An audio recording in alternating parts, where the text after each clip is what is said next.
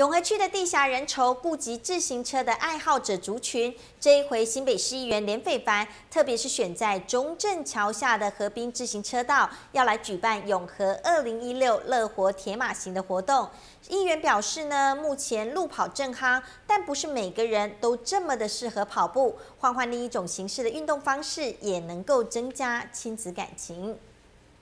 十二月十七号，我们办了一个永和二零一六乐活铁马行的活动，也就是呃自行车的活动。那那一天的话，我们欢迎所有的爸爸妈妈带着孩子们一起来参加，这是一个非常健康的活动。那现在路跑非常的夯嘛，哦，那可是路跑有些人他没有办法跑得很远，所以我们办一辆自行车的活动。第一个呃比较轻松一点，而且。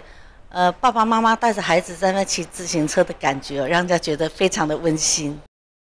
十一月二十八号起就可以来报名了，想要报名的民众可以到新北市议员连斐凡的服务处就可以报名参加。活动路线规划从中正桥绿光河岸公园，一直到新店的阳光公园折返，活动都是免费的。但是要注意的是，参加者需要自备脚踏车，而现场也会透过表演和摸彩的活动，希望透过户外活动，不仅能够推广自行车，同时也可以让民众体验乐活人生，一起来享受铁马运动的快乐氛围。